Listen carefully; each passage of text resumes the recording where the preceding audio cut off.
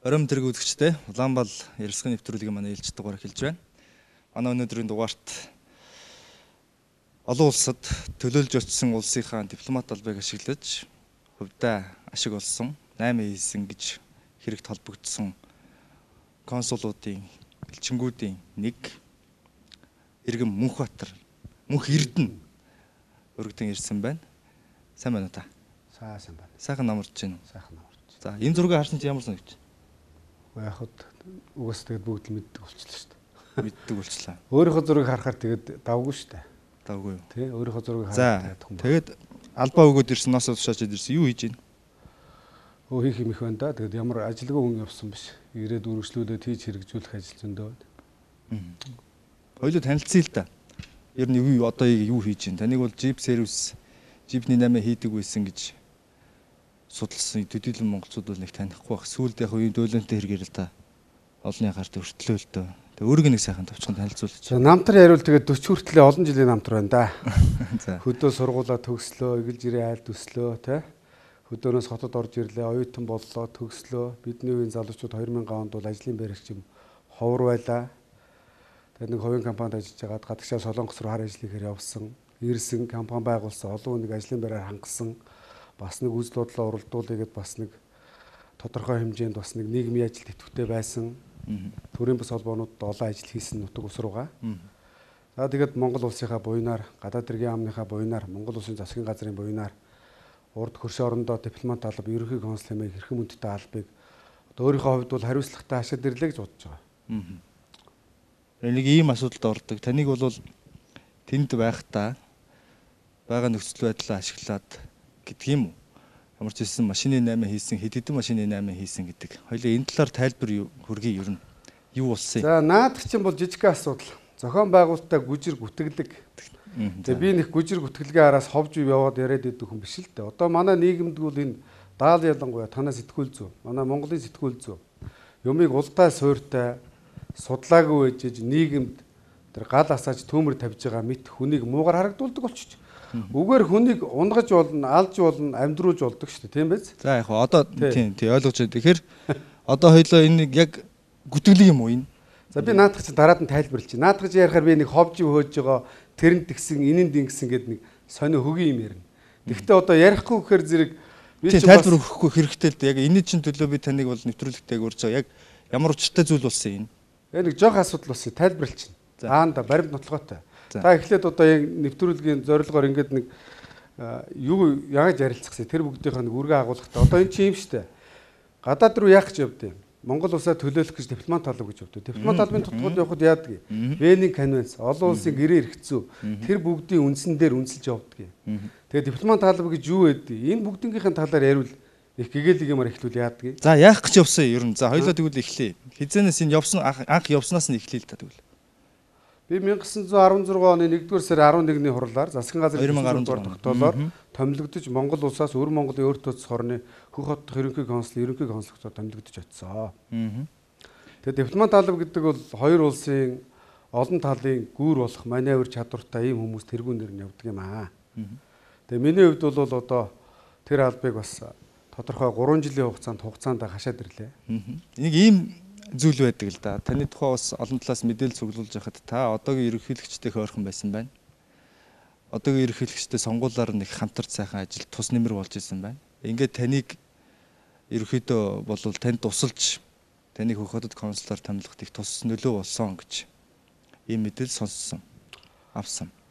Аймаг аймагаас төрийн түвшээд их хурлын гишүүд сонгогддгоо. Тэгээд дэмжсэн түрээд их хурлын гишүүдээ бол тэгэл нутгийн дүүнер залуучууд ахмадууд дэмжээл гаргаж ирдэг штэ. Түүний нэг айдлаар сонгуульд нь одоо 2008 онд явж илаа. Jeep Service компани гэл 20 Jeepтэй манай нутгийнхан мэднэ. Энэ хүний хийж байгаа үйл хэрэг үзэл бодлыг дэмжиж явж байгаа штэ. Түүнээс одоо бустай адилхан цүнх барьдаг ч юм уу, дойлгон ч юм уу яваагүй л дээ. Тэгэхэд манай Jeep Service компани байр сууриа олдсон хүний доор тэгж нэг гүү гүүгээд байх хэмжээнд байгаагүй. Тусуулж үзэл бодлоор тэгээ манайхаас бас тодорхой хэмжээний Jeep түрээслээд би залуу хүнийхээ хувьд бас та нар гараад төрийнхөө төлөө ингэж ингэж зүтгээрэй гэд ингэж зүтгэсэн тохиолдолд би 12 онд сонгуульд нь явж исэн. Ингээ хоёр удаагийн сонгуульд явсныг манай нутгийнхан мэднэ. Харин 16 онд эзгүй оогоор унтсан байлээ. Ядагдсан байлээ. Эзгүй оогоор нь унтсан байна. Яг тэр тэр сонгуульд би явж амжаагүй. Тэгээд яасан. Таныг тэгээд тэр хөхөт консулор суух чинь тусалсан юм уу ерөнхийдөө шууд шууд хэлчих тусалсан юм уу туслах. Ер нь юу штэ. Энэ албан тушаал гэдэг чинь одоо их хурлын гишүүдийг яад вэ? Ард түмэнд дэмжиж гаргаж ирдэ штэ. Их хурлын гишүүд ард түмнийхээ дэмжлэгээр гарч ирээд яад вэ? Засгийн газрын гишүүдийг ажлыг чадварыг харж хагаад дэмжиж сайд болгодог. Тийм биз? А түүнтэй адилхан их хурлын гишүүд намайг за мөнх эрдэнэ дипломат хаалгууд хоёр улсын харилцаанд гүр болох чадвартай ийм чам шиг тэг үзэл бодлоо шулуухан хилждэг шудраг улс орныхоо төлөө бас нэг нэгийг шинийг хараад ирэх чадвартай залуучууд явдаг юм аа. Тэгэхээр чи нэг яваад ажиллаад ирээч гэсэн санал тавьсан их хурлын гишүүд. За бас төр надад ажил даалгаж яхад би нэг чадахгүй мэдэхгүй тэ үнд ороод байгаа юм шиг дутахгүй зүтэй. Тэгээд зөвшөөрсөн их хурлын гишүүд санал болгосноор засгийн газрын хурлаар орж ерөнхий консулор томдогч явсан. Ийм л юм болсон. Өөр хүмүүсийг санал болгосон бол ганцхан таныг санал болгосон юм. Тэр яад гэх юм. Өршөлтөө үүсдэг юм бол ганц ер нь Монгол улсын дэлхийд дээр нэг 40 гаруй орн дипломат төлөвчийн газар байдаг. За энэ бол тэгэл тодорхой шалгуур шаардлага бүх юм биелдэ. Яг элчин сайд ерөнхий консул дипломат төлөвчийн газрын тэргүүнүүд бол ерөнхийдөө бол улс төрийн томилгоо байдаг шүү дээ. Яг нэг нөгөөлөгт. Улс төрийн томилгоо байжээ. Тэгсэн чинь явсан хүн нэг ийм асуудалд ордог. Хоёулын нэг тайлбарлая. Тайлбарлая. Тайлбарлахаас өөр арга байхгүй байна. Аа, наадхыг чинь тайлбарлахаар одоо би тэгээ тэр тэгсэн энэ ингэсэн гэдэг нэг хөгийн одоо те нэг чуганцсан яриа ярьчих гэдэг юм л да.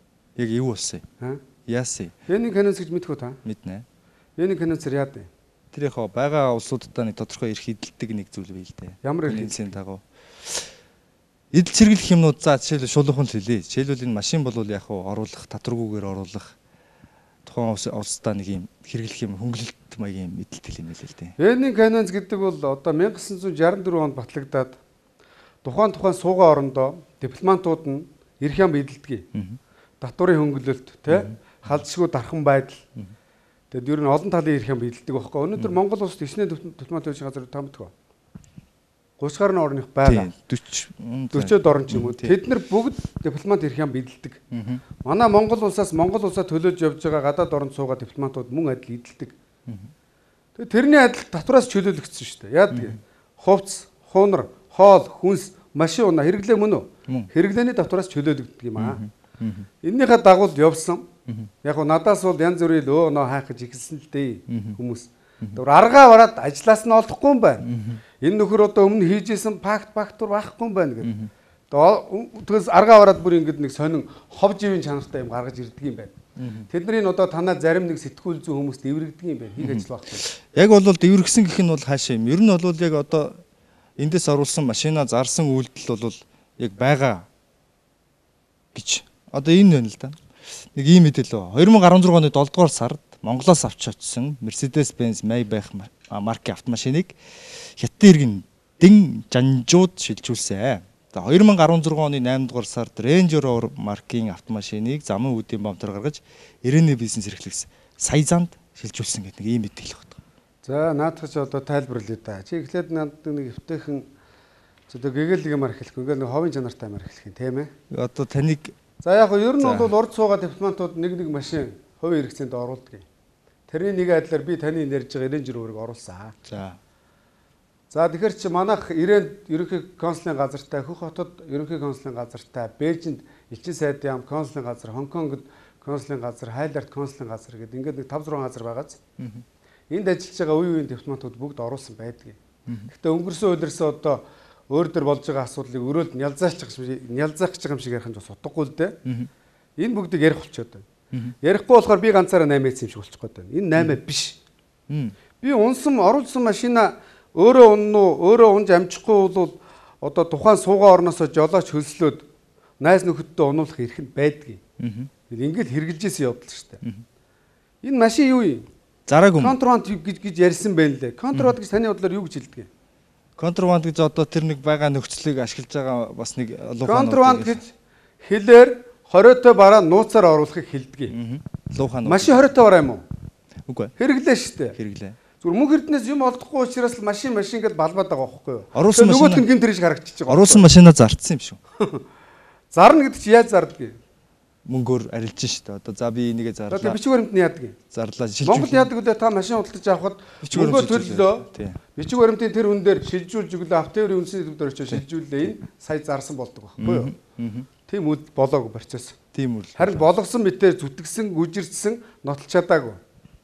энэ хоёр хоёр хоёр үйлдэлэр хоёулын дээр нь нь албаны нэр дээр орж ирсэн машин. албаны нэр дээр Төлөвчөөр болсон. навсан байгаа. Тийм үү. Тэрийг бол зараг юм уу? Шүүг зарддаг юм бэ? Тийм машин зарад. За энэ 13 оны хуучин Range Rover машин. 16 онд орсон. Одоо 16 оны 13 онд Монголд орж ирсэн хуучин Range Rover захаар ламбардад яваад хайдаа. 50 саяар хог нэгээр явж байгаа. Энэс хэдэн төгрөг унгаах юм? Бодтоо. Би өмнө нь зүгээр 20 хэд настай байхдаа машины 8 гэдгийг хийгээд те машин унах үедээ гоё солиорон солиод унаад миний хор гарцсан. Одоо машин тэрэгтэй юм яриад Хятад бол хуу экспортын машин 100% татвартай байдаг. Нэг нэг одоо жишээлбэл 100 сая машин 200 саяар зарах бүрэн боломжтой. яг Нугуулж янз янз тийм дотоодоос машин авал тэр хууль дүрмийнхаа хүрээнд татваргүйч байна. Одоо энэ ногоо эко энэ эрүүл орчинд тийм цахилгаан махилгаанаар явдаг машин татваргүйч байдгийг. Консулын газар Зүгээр гадны хэрэгжилж байгаа танслаг хэрэглээний машинууд аль ч оронд 100% татвартай байдаг юм байна лээ. Япон үйлдвэрлэгч орон учраас гадны машин орж ирэл 100% татвартай. Солонгос 100% татвартай байсан сүүл чөлөөлсөн байна лээ. Өөрөө үйлдвэрлэгч орн байхгүй юу? Манай орон үйлдвэрлэгч биш учраас тодорхой хэмжээний онцгой татвар болон холбогдох татваруудыг оноос нь хамж агаад хамаарж агаад тогтоцсон байдаг байхгүй юу? Тийм л юм байдгийг. Гятад өнөөдөр машин үйлдвэрлэгчтэй. Гятад өстой бүх төрлийн машин хог нэгэрэ байна шүү дээ. Хоёлаа нэг зүйлийг бас бүр нэг дэлгэрэнгүй сайхан ойлгуулах хэрэгтэй байна. За, консулын газарт ажиллаж байгаа нэг хүн хэрэглээндээ хүм тус бүр хэрэглээндээ машин оруулах аваачих эрхтэй байдаг тий хуулиараа. Тэр боломж нөхцөл нь байгаа тий. Бага юу? Аа бага бага. Наад ер нь энэ машинтай холбоотой юмыг дараад нэрээ. За энэ бол анхнаас нь зохион байгуулалтын юм болсон. За, яагаад хэн зохион байгуулсан байж таарах? За яг хуу намайг 16 онд очлоо. 6 сар сонгуул боллоо. Сонгуулийн маргаашнаас эхлээд танаа намчи халагцсан ажиллаа өг шахсан. За яг хуу ажил бол өгдөг авдаг албан тушаал. Тэрэнд бол нэг готоод гонсоогдох юм алга. Игнэр жирэмсээ очсон байлаа. Охин маань төрөх гээд байлаа. Онгоцон сууж явхад одоо тэгээд бас асуудал бэрхшээл тулгарна юм шүү дээ. Та хүртэл эхнэр хүүхдээ эхнэр чинь өргөжөөл яах вэ? Нэг хоёр хоёр хоёр хоёр банд маань сургуульд орлоо бага ангийн. Тэгээ нэгэнтээ очиод сургуульд орсон хүүхдүүдийг бас нэг 3 жил сургаад нэг боловсролын нэг суурийг тавиад ирүүл хинт хэрэгтэй. Миний гэр бүлд, миний ирээдүйд магадгүй миний хүүхдүүд том болоод Монгол улсын ирээдүйд хинч болж болоо, хинч болж болно үстэй. Тэгээ нэг амьдрал өөрөө баялаг байхгүй юу? Тэгээ ардын намаас шахаж эхэлсэн. Тэр дундаа одоо бол найз би бол тэгж нэг найз нөхрийг нам шашин шүтлэг гэдгүү найзалдаг. Ямар хэрэгтэй? Монголчууд нам мам гэж жижиг юм яриад яадаг. Би ардын намын нэг найзтай байсан. Сүхбаатар дүүргийн Монгол ардын намын дид дарга мөнгөн шагаа гэж одоо нийслэлийн засаг даргын орлогч бөгөөд их том дарга болсон байна. Аа за. Мөнгө байхгүй, бизнес байхгүй. А би чинь бас бизнестэй адуу малтай бас тэдний тэдний тэрний дэргэд бол бас хөдөлмөрлөсөн хэмжээ тодорхой хэмжээний найзтай хандив өгчих юм байна да тий. Сонгуулаар хандив өглөө манай нөхөр сонгуулаар ялаад гарч ирлээ. Гарч ирэл хүний зан хувирдаг юм билээ. За манай Зогтбаатар сайд их хурлын гишүүн болсон. Манай дүүргээс гарсан мөнх хоригд гадаад иргэн сайд болсон. Амын нэгш ажиллагч. Найз тэгэхээр сонир болд юм билээ. Тэг тусам би мөнгө шахаа чи наадмын шилэн 8 ч болцсон юм уу гэсэн. Үгүй гэж. Хууль дүрмээр журмаараа яв. Таныг хэн ажиллаа шууд үг гэсэн гинэ? Монгол ардын намаас манай найзаар дамжуулж надад шахалт үзүүлж байгаа. Шууд ажиллаа үг гэж. Чи нөгөө сонгуульд олон нөхдүүд нь явж Шалгаруулалт малгаруулалт байхгүй. Ардын намынхан чи гудамд ажилгүй яваад шүү дээ. Тэг ганц нөхрийг чи сингээхийн тулд мань митиг гэж ясаж тавих гэдэг юм шүү. Уг нь бол энэ чиг үүргийн яам гадаад яамд манай Монгол улсаа төлөөж байгаа юм чинь дотоод нам мам гэсэн жижиг юм аа гадаадд гаргаж ирээд бол инээдэмтэй л дээ. А тэрийг бол энэ намын эрх бүхий удирдлагууд төрийн өндөр албан тушаал гасж байгаа хүмүүс бол ойлгочиход илүүтэхгүй юм уу даа гэж үзгүр бодсон. Тэгээд ажиллаа өгөхгүй гэсэн чинь ийм асуудал үүсэж байгаа юм уу? А тэгэл 16 оноос хойш явлаа 16 17 18 19 4 он дамжаад 3 жил дараалан хойноос ухлаа. За. Хүтгэлээ, сошиалар байсгээл нэг мэдээ явах юм. Нэг зовлонтой шүү. Дипломатын ялгавчийг өргөн цар хүрээтэй гэдэг. Одоо жишээ нь улс төрийн харилцаа, боловсролын харилцаа, эрүүл мэндийн харилцаа, соёлын харилцаа, хүмүүнлэгийн харилцаа гэдэг олон талын харилцаан дээр гүүр болж ажилладаг дипломат алба өөрөө. За нөгөөтэйгүр тухайн суугаа орондоо одоо Монгол улсынхаа иргэдэд ямар л зовлон бэрхшээл тулгарна тэр бүгдэд хурч үйлчлэх стал байдаг юм аа. За тэгвэл танаас албач авахын тулд энийг зохиосон бол таарч. За зохиосон гэлж. Өнөөдөр төрийн албанд орохоор хүмүүс яадаг юм? Яаж ордог юм? Шалгалтаа өгвөл бол төрөө Тэр нь хиний ч хөвгтөө хамаагүй өгж орох. Тийм. Сайдын, даргын, цэргийн, тэ жирийн малчны. Тийм биз? Тийм. За гадаад яманд ажиглагдж байгаа юм дандаа дарга сайдуудын хөвгтүүд дүрчиж. Би энийг олж харлаа.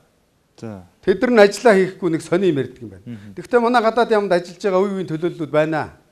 Манай мундаг Ахмад үе одоо манай Жана дарга байна, Баяр сайхан дарга байна, хөрш орнуудын дарга Жан Озар тэ. За тэгэл Ганбаатар гоо мэрэгжилтэн залуу үеэс ч гэсэн сайхан сайхан залуучууд байна. Тэд нар маань зүгээр дээшилдэгчгүй доошлдогчгүй яг яамны хар ажлыг хийдэг. Тэ? Бүхий л одоо зохион байгуулалт, хурал семинар, олон улсын уулзалт. За хоёрт нь дарга нарын хөвгтүүд. За. Дандаа дарга тушаас амтл сууж байна. Ямар дарга нэр хөвгт. Одоо яриад үгүй. За. За гуравт нь дарга нарын одоо юу гэж ярьдаг вүлээ нөгөө найз охины ч юу гэдэг хатуугаар ярил. Мэдхгүй юу гэдгийг та л дарга нар л мэдэн шүү Манайхны нэг яриа өгдөг шүү дээ. Найз охтууд нь одоо эхнэрээс нь гадна нэг найз охинтой байх юу гэдэг. Нуус амраг гэдэг юм дээ. Тэг тэг тэг. Тийм шүү дээ. Ингээ гурван секторт гадаад ям дүүрч. За. Тэгээ гадаад ямаа муулж байгаа юм биш шүү. Ийм болгосон тодорхой бэлэг хүсэг хүмүүс юм. За. Жишээ нь ярих уу? За тэг. За. За гадаад яманд манай нямд орж сайдын хүү анх хоёр төрийн захиргаа удирдлагын газрын дарга. Өмнө нь Сан Францискод ерөнхий консул асан. Хуулийн хэлтсийн дарга асан. 20 эдгээс яасан олон жил дарга гэдэг таваарш байна. Надаас дүү нэг бацаан байлаа. Хоёрт нь улсын хурлын гишүүн асан, нийслэлийн иргэдийн хурлын дарга асан, Улаан загалмаа нийгэмдгийн нарийн бичиг, ерөнхий нарийн бичгийн дарга, одоо хуучнаар бол хүүхдийн болормоо даргын хүүхэд. Консулын газрын дарга 20 эдтэй залуу мөг төшиг гэд. Яриад бол хөөрч өгнө. За. Яриад. Саяхан Бээжин лүү консулын даргаар бас нэг их хурлын гишүүн сайдын хүүхд явуулчлаа шүү дээ. За. За энийг та нар өөрсдөө сэтгүүл зүй ингээд ухаад та нар чи юмны араас их сайн явдсан байлээ шүү дээ. Хилчилдэ мэдээлэл хилчилдэ хүмүүс сонсмоор л байна Та нар өөрсдөө мэдээлэл дөө миний олж харсан л энэ байна. Энэ хэд байна уу Та нар чинь зүгээр ордонд хүний шүд ам сугалчих гад хойноос нь За. шаргуурдаад явдсан. Им юмны араас яв. явсан. Хүний эрх рүү битээ ингэж халдаад гудамд хүн яриа өгөхгүй болно шүү дээ. Сэтгүүл зүй гэдэг бол ийм л юм их сурвалж заа. Тийм биз? Тийм учраас би танаас асуугаад байна. Тэнгүүт та одоо яа тийм шарлахж байгаа юм уу? Шарлахад байгаа байдлыг унсан дээрээ унсан болохоор энэ хүмүүсийн мэдээлэл гаргаж тавьж байгаа юм. За хувьд- гэдэг хүн хүний хүүхдийн тухай ярьж байна. Энэ одоо энэ хүмүүс бол бүгдээрээ таныг одоо ажилтай байх Усраа үед нүн ам цангаад чинь. За би танд гоё ундаа өгье заяа. Энэ байгалийн гаралтай кола. Ундаа. Би ч нэг сахартай мууд юм да. Ус. Сахаргүй сахаргүй чи байгалийн гаралтай. Зүгээр яах ч? Ундаа. Сайхан тайван ууждад ярил л да. Сайхан тайв уучих. Би асууж та сайхан яачих за.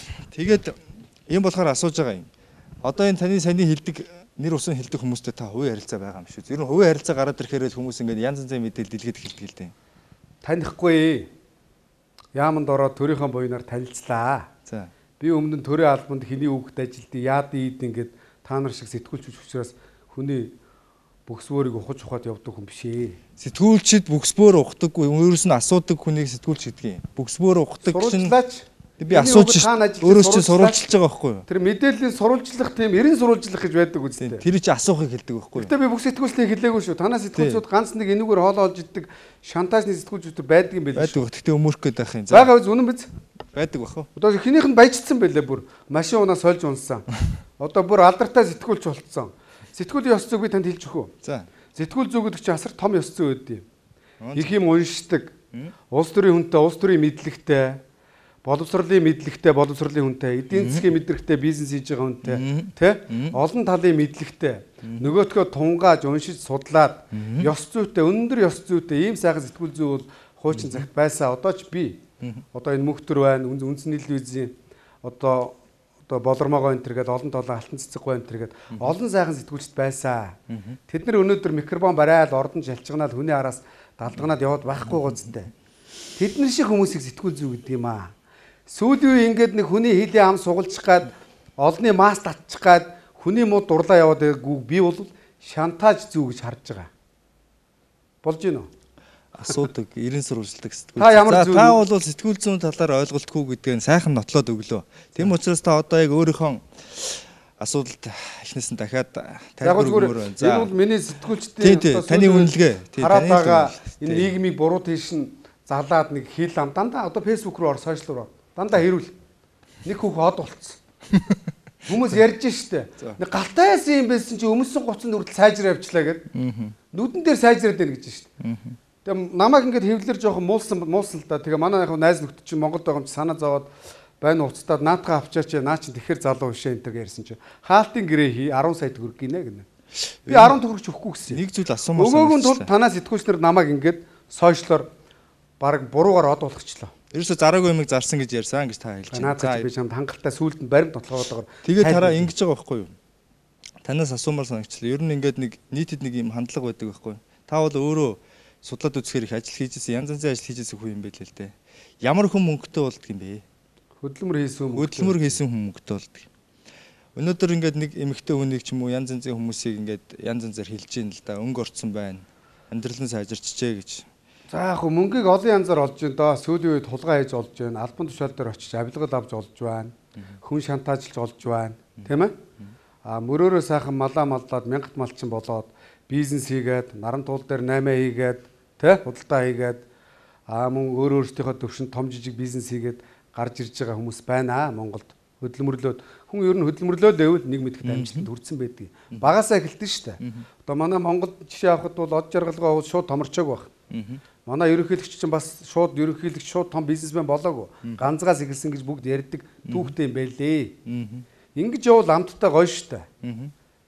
Тэгээ одоо гів гинтхэн юу ч хийгээгүй зүгээр сэтгүүлч хийж явж байгаад шантаж хийж явж байгаад зайсанд байр авцсан жип сольж унаа явж байгаа нэг юу гэж ойлгох юм. Уран бүтээлч энэ мөнгө хоол болдсон байх та. Уран бүтээлч чадвараараа үнэлдэг юм аа. Уран бүтээлч. Намайг урд нөгөө боловсролын солилцооны ажил дээр би Үр Монгол аштай гэд манай нэг Үр Монгол дөвий Монголд 200 гаруй уран бүтээл хийсэн тодорхойлтыг явуулаад үүрэг штэ боловсролын солилцоонд миний их хэвээр ажил байхгүй юу. За тэгээд өр монголч нэг 2000 гаруй оюутан сурдаг юм аа манай Монголын тэтгэлэгтэй. Тэгээ бас эднэрт одоо ахын нэм шиг аав нэм шиг өр монгол багш нар бид нар чинь нэг үндэстэн дээг нүдэ түүхэндээ тийм байсан те. Ингээд арх битгий уу анхаарал тавиад тэдний төлөө сурч боловсруулахад Монгол улсын боловсролд жинтэй хувь нэмэр оруулж байгаа багш нарт бүгдийг тодорхойлоод Монгол улсын боловсрол соёлын шинжлэх ухааны яамнаас соёлын тэргүүний ажилтан боловсролын тэргүүний ажилтныг олгуулсан. Би олгодгүй шүү дээ. Тодорхойлж явуулсан сайдын гарын үсгтээ шагналууд ирсэн. Би гардуулж хүүрэхтэй. Ерөнхий консул дипломат төлөгчийн тэргүүнүүд гардуулж хүүрэхтэй байдгийг. Сая манай ерөнхийлөгч гадаад явхад бас алтан гац додон Монголын түүх холбоолаад ярьсан юунд бол олгосон л байлаа ш. Энэ мэтлэгээр олгодог байхгүй юу? Олгосон ч л намайг энд яасан гэ. Соёлын тэргүүний ажилтан зарчлаа гэдэг Ингээ бид нэр өөрөө өөрсдийнхөө энэ үнэтэй зинтэй шагналыг унгаад байгаа байхгүй юу. Тэгэхэд тэнд хүн духандаа мөргөөд ажиллаад Монгол хүн гэдгээрээ бахархаад авч штэ. Бид манай монголчууд өөрсдийнхөө амийг өөрсдөө унгадгийг. Тэгсэн тэр нь манай нутгийн дүү аж дараад асуусан чи ахаа хэд хэдэн сайтын дээрээс авчлаа гинэ. Тэгээ тэдэн төгрөг гинэ. Тэгээ би асуулаа. Ахын дүү ингэж хоол олж иж байгаа мөг чам тоол болж гинөө. Ах нь мөнгө өгч чадахгүй. Ах нь бизнес хийжсэн бол чамайг зөндөө дэмжиж ийсэн. Дэмцээр ирсэн. Одоо төрийн ажил хийж байгаа чадахгүй. Ах нь цалингаар амьдарч гин гэсэн. Сэтгүүл зүйн л болчиход байна. Та сэтгүүл зүй хөдөлмөрийг сонин үнэлдэг юм байна. За яг таны үнэлгээ. Ер нь бол хүн юугаач үнэлүүлж болно. Заавал юм зарж иж мөнгө олддог. Тэгжээж амьдрдаг. Тэрийг хөдөлмөр гинэ гэж одоо шин зуунд бол тэгж үнэлж болохгүй бах. За ингээд орхий. Ингээд ерөөхдөө хоёлооны дараал руугаа эргээд оръё. А ийм учраас ингээд таныг янз янзаар гүтгэн гуйлаад ийм ийм мэдээллүүдийг тарааж эхэлсэн байна. За тэгвэл таныг ажиллаж явах үед үнэхээр яг ийм асуудлаас хотгодгоос өөрөөр ер нь та ер нь ажиллаа хэрэг үүсэж гүйцэлдүүлж ирсэн юм бэ? Ер нь энэ консул гэдэг хүн чинь тэнтэй яг юу их хэвээр байд юм бэ? Тэ дипломат алба гэж юу юм бэ? Одоо шийдэл таныг яг ингээ байж явах үед хар тамхитай холбоотой тий маш олон хэрэгүүд гарсан хар тамхи зөөврүүлсэн тээвэрлсэн гэдэг энэ улсуудаа мэдээлэл өгж явах нь болчлоо. За би наадах ярихаас өмнө нэг хүний тухай эхлэе ярьчих. За. Манай хууль зүйн сайдын тухай. Ямд орж байгаа чи хэдэн удаа төрд хууль зүйн сайд хийсэн гэдэг үлээ? 4 бодуу 5 билүү. Ер нь 5 тэр мэдж байгаагаар нэг Монголын төрд нь 30 жил их хурлын гишүүн хийчих шиг боллоо те тасралтгүйгээр. Бөхөр бол дархаа авраг болж штэ те. Бараг хөдөлмөрийн баатар, улс төрийн хөдөлмөрийн баатар авлаа тийм үү? За тэгээ хууль зүйн гэмт хэрэг гадаад дотоод буурсан уу? Таны бодлоор? Буураагүй статистик болвол за нямд орж байгаа өөрчлөлт онцгой талаар нэг бууруулахаар ажиллаагүй юм байдгүй. Би бол яг урд очиод ажиллаа. Дэлхийд дээр олон оронд манай монголчууд хөөрхий. Монголдо сайхан эрүүл, тав тухтай, стрессгүй хүн болго ажилтаа орлоготой бизнесмен бол манайхан гадарчлаа хар бор ажил хийх гэж явах уу? Явахгүй үстэй. Тэгэхээр тэд нар маань яадын гадагшаа мөнгөний төлөө, өр хөвгтөд тижээхийн төлөө хөдөлмөр хийх гэж зарим нь хуулийн мэдлэггүйгээс болоод гиндээд алдаж индээд хүний нутагт хуулийн хариуцлага хүлээгээ сууж байгаа. Та тэрэнд туслал да тэгээд. Би ярьж байна. Та эхлээд хүнийг гүйц сонсч тэгээд дараад нэрдэх үү. За за за. Урд 50 гаруй хүн хоригдож байна. За. Бүгд хуулийн мэдлэггүйгээсээ болсон гэж би харж байгаа. Аа. Хөөхий. Дэлхийд дээр хамгийн олон ял идэлж байгаа орн хятад улс байдаг юм билээ. Манай урд гүршид. Тэгээд урд гүршид ял идлээд бас би бол тэднийг үд нэг ялтан малтан гэхээсээ илүүтэйгээр алдаж инсэн манай Монгол иргэд гэж үздэг юм. Амьдралын төлөө явах гэж байгаад алдсан хүмүүсээ. Хуулийн мэдлэггүйгээсээ болоод алдсан хүмүүс аахгүй юу? Тэднийг бүгдийг үр Монголд бас цаг уурн ойролцоо юм байна гэд Гуанжу, Хонконг, Монконг, Бээжинд ял идэлж исэн хүмүүсийг бүгдийг хөх хотод төлрүүлсэн байдаг юм. Би ерөнхий консул болж очиод анх шууд тэр ял идэлж байгаа хүмүүс төр очисон иргэд дээр. За яг өмнөх ажиллаж байсан ерөнхий консулууд маань сайхан ажилласан л да. Гэхдээ тэр хорихын удирдлагууд бол анх удаа ерөнхий консулын бараа харж байна. Танаа ус ерөнхий консултай байсан юм уу гайхчихлаа. Тэгээ би очисон иргэдийн хойр. Очих хэвээр. Би тэднэр шиг бас мөнгөний төлөө харийн нутагт хар бор ажил хийжсэн. Би энэ зовлонг мэднэ. Тэгээ очиод асуулаа бүгднгээс нь. Дарамт байна уу, шахалт байна уу, юунаас л од орцсон. Нөгөө нэг хар тамхи таны хэлж байгаа. Мэдхгүй нэг хүн ачаа аваад ор тэдэнд төгрөг өгье гэсэн чинь гиндэд орцсон. Тэ? Өнөөдөр хятад улс руу хориотой бараа ангийн гаралт гаралтай бүх хориотой барааг хууль зүйн ам иргэдтэй хуулийн сахиулах сурталчилгаа хийж явахгүй яасан. Тэрнээс чинь болж урд өчнөө хүн ял идэлж байна. Ирвсний хайрс мэдхгүй барьж ороод 10 хэдэн жилийн ял авцсан ихэн зайлуул өндөр настай тэнд хүлээгээ сууж штэ их хүн охиноо хүлээгээд тэр хүн ямар хүн алдсан юм хулгай хийсэн юм уу? Мэдхгүй л байхгүй да ирвснийг улаан наманд орсон хориотой гэдгийг. Энийг хий ойлгох хэвээр. Манай хууль зүй яам. Манай Монголын төр иргэдэд дутуу ойлгуулсан байна. Тэг би бол тэгж харж байгаа. Монгол төрийг та төлөөлөө сууж байгаа тийм. Орцсон юмыг яахыг төлөөлөө тэднэртэй тэгээ тусалж штэ болохгүй юу? Тийм биз? Тэгээ бод эндээс орж байгаа одоо өнөөдөр манай Монгол улс түүхэндээ байгаагүй барааны иргэд 10 тэрбум доллар төрлөө гэл. Зогтоотор сайд маань зурагтаар ихэд багталтаа өөрөө ийц юм шиг ярьж илээ. Манай энэ зам дээр байгаа өдөрт 1500 машин орж гардаг ойчрлж байгаа мó хөдөөний хідэн жолооч нар чинь Монгол улсад тэр 10 тэрбум долларын чинь бараа эргэлтийн хамгийн гол юмыг оруулж штэ. Эднэр чи өөрхийг гиндээд нүүрсэндээ махнуугаад Монголын хэл давангуут нь гятын хэл дээр баригдаад контрабанд болоод шоронд орж штэ. Монголын хилээс давуулаад штэ. Давулчаад штэ. Давуулчаад байна. Монголын хэл давулчаад штэ. Одоо яг энэ дээр нэг асуудал үүсэж Жилийн зэрэг хаана хэний хариалт үүдгийг? Харин тийм. Ям дөржийн хариалт үүдгийг. За одоо ингэ за тэр хилтэй Тэр ширэнтгээ тавиад шүүгээд мах байвал барьж аваад амбаардаад буцаагаад ийшээ оруулж ял аав штэ мангараага гаргаж болдгоо юм уу? Нөхөр минийгээд та ундаа удаа. Тэгээд нэг ийм болж байгаа юм.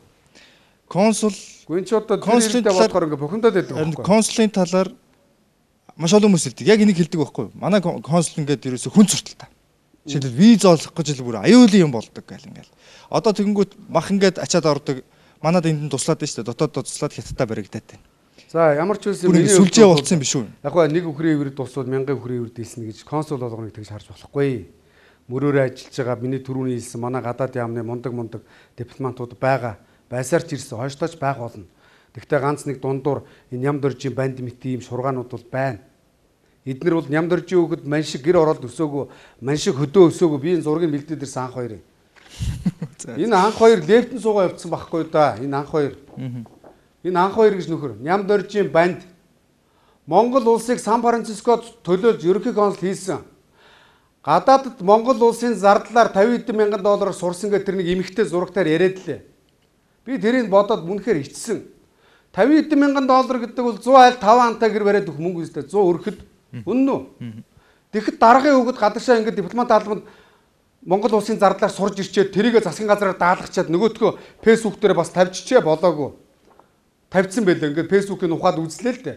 Намайг муулцсан учраас би орж ухаж үзсэн. Би төрдөө 5 жил ажиллаад миний хөнгөлтийг хүчингү болгоцсон гэж байгаа байхгүй. Ямар ёс зүг нөхөр вэ тэ? Би энэс энэ шиг залуучуудаас итсэн. Эднэр шиг залуучууд Монголын төрийг төлөөлж очих юм бол энэ арвар ажил хийж байгаа иргэдийнхаа төлөө ажиллаж чадахгүй. Ман шиг гэр ороод энэ өсөөгөө. Бидний амьдралыг мэдэхгүй. Монголчууд хэдэн өнгөр ороод амьдрдаг юм. 80-аас 90% хүн амьдарч байгаа үстэй. Орон байрны төлөө гадаад тарвар ажил хийж байна. Энэ насаараа панта барьж орлон ба- ба- пантаж орлон банд ам- амьдэрсэн хүүхэд штэ. Тийм биз? Даргын хүүхэд. Гэхдээ би даргын хүүхэд гэдэг энэ залууг дормжилж байгаа юм биш. Энийний гаргаж байгаа үйлдийг хараад би ойлгочихж байгаа байхгүй юу? Хамаагүй наад хайж болсон. Монголын төрөөс хаямаар байсан юм хэлдэг болохгүй юу? Дээр гаргаад тавьчих. За за за. Тэгэхээр анх хоёр шиг нөхдүүд байна шүү дээ. Манай гадаад яамны нэрийг унагадаг байхгүй юу? Иргэдийн төлөө ажилтдаг байхгүй юу? Анх хоёр миний оронд байсан бол тэр иргэдийн төлөө очихгүй. Шорон дээр очихгүй.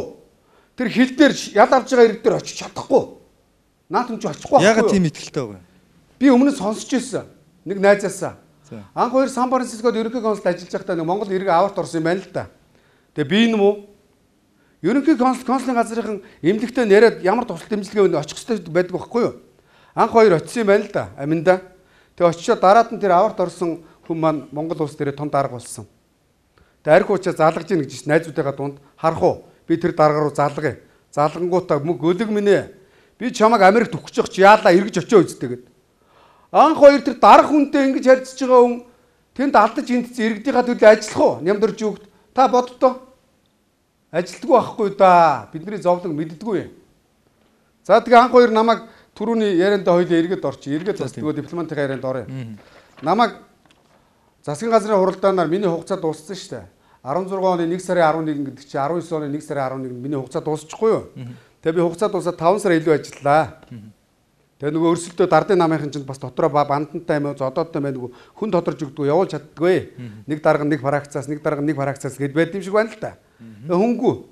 Тэгээ ажиллаж илаа ажиллаж исэн чинь намайг машин дэрэгтэй холбогдуулаад айлын талаас ганц нот ирэхэд айлын тал цагдаагаа өмөрч байгаа. Энийг би чи хаалтан дотор ярив. Гэтэ нямдэржийн банд яриаг гүйцэж. Төхөө. За. Тэгэнгүүт намайг засгийн газрын хуулиар яах вэ гэхээр дипломат холбооны тухай хуулийн дагуу 16-гийн 2-оор хугацаа дууссан гэдээ эргүүлэн татах хэрэгтэй байдیں۔ Өмнө нь миний өмнөх ерөнхий консулыг мөн 16-гийн 2-оор хугацаа дууссан гэд намайг томилсон байдیں۔ 16 оны 1 сарын 11-нд засгийн газрын 42 дугаар тогтоолоор татсан байдаг байхгүй юу? За анх хоёр дарга ингээд татаа гэд би орохгүй юу? Монголоос намайг дуутсан байлаа. Орлоо. Тэгс над тэгж штэ. Би ч бас ерөнхий консул үеийнхэн залуу. Тэ? Бас нэг гудамны хүн биш байгаа сте. Тэгээ яваад орсон чинь чам шиг гудамны юм надад дипломат алга заадгүй маа. Шууд тэгж хэлж байгаа юм уу? Шууд яамныхан сонссон. Харсан. Тэгэхээр гинт бас нэг би ч бас нэг шудраг үнний төлөө худлаа ярьж байгаа хүнд оромжилж байгаа хүнд би би өөрөдөө доромжлуулдаг биш. Хэрвээ зэ өөрөөсөө доор хүнийг доромжилж байгаа дарга цэрэг байх юм бол би бол харин өмөрөх талтай байдаг. Хүн Монгол хэр хүн гэж удагтаа хүн гэдэг бол зөв зөөлөн бурууд хатуу байх хэвээр. Дээшээ дарга гэд ойлгоноод байх юм байхгүй хүндлэх дарга хүндлэн. Дээрлэхэд дэвэл бас болохгүй болохгүйг нь хилдэг. Доошоогоо бол харин дэмждэг, тусалдаг ийм байх хэвээр хүн. Энэ нөхөр шууд дээрлэгч гисэн намайг. Намайг дээрлэгч байгаа юм чи яаманд бол азрах гэж хэлнэ шүү дээ. Баццсан яамыг. Яамныхын ярьж ийн энийг. Нууц амаргаа оруулж ирлээ, жил ажиллауллаа, гадаад руу дид консулор явуулсан гэж байна. Ой замбаргүй ярьж та наадхаа өөр над ярьсантай хариуцлага хүлээгээрэй. Та бас их Яамныхын ярьж штэ. Би тэгээ тэр ярьсан ярьсан гэ танд ярих уу? Яамнаас очиод асуу. Танаас сэтгүүл зүй очиод тэр шантажны нэг хүний араас явдаг гүдэг юмнууд очиод сурвалжилцаа. би ерөөхдөө энэ учраа агуулгыг За тэгээд ням дөрж өөхөд тийм байна. Тэгсэн намайг чи жолооч чи гудамных штэ. Би бол гадаадд сургууль төгсөж ирсэн. Мундаг хүн штэ гэж намайг. За за анх хоёр дарга та их мундаг юм байна. Би бол таныг мундаг биш гэж хэлээгүй штэ. Би жолоочийн хүүхдээ. Тэгээ би гудамных юм байна те танихаар. Та дарга сайдын хүүхд юм байна. Яамны мундаг юм байна. Намайг гудамных гэж баг доромжлоорой. Би бүр хараалын үг хэлсэн. Тисгүй хэлдэг юм байлаа. Одоо телевизээр тэрийг яриад л тань биш. Нөхөр минь болохгүй шүү. Миний аав ариун цагаан хөдөлмөрөөрөө Монголынхаа төрд 30 гаруй жил жолооч хийж бүтээн байгуулалтанд гар бийж арилцаж явсан сайхан өвгөө одоо байна. Хацтэй нэртэйгээ сууж байна. Чам шиг миний аавыг гудамжны гэж хэлэхгүй шүү нөхөр минь гэж би хэлсэн. Ням энэ анх хоёрын аав юу лээ? Ням дөрж. Чи аавынхаа буйнаар аятайгаа яваараа мó бацаа мэн гэсэн би хэлсэн. Зөв. Тэгсэн чи миний аавыг доромжилдог хинбэ гинэ. Ням дөрж байгааг Монголын ард түмэн сайн муугаар мэдж штэ, ярьж штэ. 30 жил төрд байхдаа энэ ядуурлыг бууруулахгүй яасан юм. Яг би одоо нэг ажил ням дөрж байгаа энийг хийгээ утаа харилцсан шүү. Энэ хуулийг санаачлаад гэмт хэрэг харилцсан шүү гэдэг юмыг би юу санахгүй байгаа байхгүй. Өдөө зэрэгтэй 30 жил яваа Монголын энэ нийгэм бухимдал, ядуурл энэ хитгэн улс төрчтэй холбоотой. Эдний нэгэнд бол ням дөрж байгаа. Хүн болгон тэгж ярьж байна. Тэдний хүүхэд. Ням дөрж байгаа өнөөдөр төрд юу хийсэн? Хүүхдээ яаман шахсан байна. Хүүхэд нь дарга болсон байна. Бэр нь бодор тунгалаг гээд засгийн газрын хэрэглэх газрын хүний нөөц боловсон ачаа хариуц дарга болсон биш. Анх хоёрын авгаа эхнэр энэ нөхрийн авгаа хөөе. зөө зөө. Тэгэд одоо юу вэ ашиг сонирхол гэдэг үлээ. Нэг засагт ажиллахаар Хөрс ухсаач их мужих юм бэлээ шүү дээ. Ерөнхий сайд болонгуудаа дүүгээ барилгын яамнаас нь том дарга хийж хөөгөө уулцсан бэлээ шүү. Тэгэхээр нямд орж байгаа анх хоёр хоёр нэг яамд хөрс ухсаадын команданд ажиллаж байгаа үстэй. Тэгсэн охин нь бүр засгийн газар хэрэглэх газрын хамгийн том галт байгаа бацдаг газар галт тоог бацсан сууж дээ. Нөгөө оюун эрдэнэ шудрагч авчдаг сэлэмддэг хүн тэрэг авчаач. Инкод даргаыг авчаа явуулцдаг мундаг юм байл дээ. Нямд орж ийн авгаг Өмнө нь засгийн газрын автобазад нэг аж ахуйн газар нэг аж ахуй ажил хийжсэн юм билээ. Тэгэнгүүтээ бүр төрийн албаны шалгалт өгөөгүй орж ирэл мэрис зарчмаар явдаг албанчууд нар чи шууд ахлах референт буюу дараагуудаас уцсан ба шүү дээ. Нямд орж байгаа. Нямд орж байгаа ийм л юм хийсэн 30 жил. Миний харж байгаагаар. Энэ бол яг Гэхдээ бодтой шүү дээ. Би гүтгээгүй шүү дээ. тий. Тий. Яг энэ төрийн албанд байгаа ийм За нямд орж байгаа хийсэн ажлыг дахиад ярив. Урж идэж Өнөөдөр байгаа. хууль зүйн салбар нямд орж байгаатай холбоотой. Сая чи би 6 сард ирлээ. Бас бухимдалтай хэвлэл мэдээлэлээр ч одоо амтаах дүнээрээ орхоморч ичмээр те нэг хүний нутагт тулгаа ягээд ирсэн ч юм шиг тийм үү? Бас санаа зовоод бас хичгүүлчирхай байна. Аав ээжийн нэр хүнд байна те. Санаа зовлоо. За юу гэсэн нутагтаа очиод би ч бас нэг төрийн бос холбоо ажлууд дөрөв хэлсэн шүү дээ. Баян онгор аймгийн хонгорын урд морин сурт уяжт холбооны тэргүүнээр би 8 жил ажиллаж байна. Хөдөө малчтын төлөө байгуулгал да. Би ч хөдөө мал дээр өсвөгд болохоор. Тэгээ тэднийхэн төлөө бас тодорхой тооны ажлуудыг нийгэмд хийж явуулдаг юм. За тэгээ ажиллаад манай нутагч ламын гэгэний ойгоо том ой боллоо. Бүсийн уралдаа авлаа. Аа морины комиссийн дарга би автоматар болдгийм байх хэвээр. Тэгээ болоод ханд бүх мөрийг нь зохион байгуулад очлоо. 300 сая төгрөг босгоод очиод нутгийнхаа хувь сайхан хийя. Нутгийнхаа сайхан сэнгүүлье. Монгол малч чинь бас нэг халуунд халж тэ хүүтэнд төрдөг ийм эрс дэрс уур амжилтаа манай малч чих хүнд нөхцөд амьдэрдэг шүү дээ. Тэгээ зунд нь наад маяг сайхан баярлдаг ард түмэн тийм биз? Наад маяг ихэд очлоо. Нөгөө нямд орж байгаа толгойлдог цагдаагийн ерөнхий газрын зөвлөлийн гишүүн хурандаа 100 цагдаатай очиж штэ. Өнөөдөр Монголын төсөв тэгтлээ баян болцсон юм уу? Төргөн тусламжиндаа хөрөхгүй байгаа зү хөөе. Аа? Манай аймгийн наадамчд ямар жагсагчд юм уу? Аймгийнхаа цагдаа нартай аймгийнхаа наадмыг хийгээд ирж болж исэн. Би өмнө нь 375 жилийн ог би оюут бол дарахтай аймгийнхаа орон нутгийн цагдаа нартай би ямар сайхан зохион байгуулалттай хийж исэн болж исэн. 100 цагдаа явуулж штэ. Сурган сонсохноо мөнх эрдэнэтэнд наадам хийж байгаа нутагтаа чиж унгаа наадгаа дарамтлах гээд аавда анх хоёр хэлсэн гинэ. Би надад нэг хүн ярьж байхгүй юу? Тэгсэн чинь цагдаагийн ерөнхий газрын зөвлөлийн гишүүн хурандаа амгалан. Энэ нөхөр 100 цагдаатай очиж шít. Гов алтаагаас, аа? Улаанбаатараас, Үр ангаагаас. Хөөе. Манай аймгийн жагсагч туу. Энэ намайг наадам хийлгээгүй. Миний морины комиссийн дараагийн машин сууж явсан юм чирээд өрөвлжүүлэх түн шийдэж байгаа юм хургаан луу жихэд бичиг баримтуудыг хурааж аваад бичиг баримтаа буцааж авах гэж бүр автын цагдаагийн дарга руу ирж авсан шүү дээ. Энд хийх ажил алгу. Нямд орж байгаа ийм наадам гисч явдаг ажиллаа хийдгүү хурандаа нарыг зайлуулаарай. Хүүхдээ дараад нь Монголын төрөөс зайлуулаарай. Би яг хуу танд манай аав шиг хүний хувьд дүүгийн ёсоор зөвлөё. Бас энэ нөхөр. Энэ цагдаагийн хурандаа гэдэг нь сайхан зол. Би хурандаа нараа хүндэлдэг.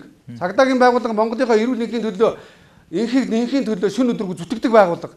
Тэрийг ганц мэд ийм нэг наадам гэсдэг нөхрүүд бузралж байна. Аа тийм болохоор та одоо ингэж мэдээллүүдийг дэлгэх. Таны наадмыг өрснөөс учраас та энэ хүмүүсийн Миний наадам биш ээ. Миний нутгийн наадмыг очиж би бас нэг нутагтаа очиж байна. Бас нэг хил ам дагуулад ирлээ. Нутагтаа нэг нутгийн хамтуудтай хөөрөглөө золгомоор шүү дээ. Золгуулаагүй. тэгсэн учраас та одоо нэмт сайт гото мэдээллүүдийг тавьж байгаа юм уу? Юу?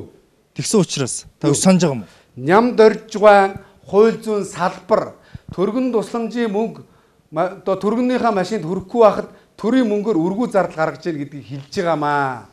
Нямд орж байгаа болоо тэ энэ төрийн мөнгө химнэ таны мөнгө биш ээ. Тийм биз? Төр төрийн ард иргэч тань шиг хаавсанд амьдрч чадахгүй ч гэсэн таван антаа гэрэг барих гай чадахгүй шүү дээ. Нямд орж байгааг хаавс гэдээ Монголын төв бүгд л ярьж шүү дээ баримт тотлогоотой.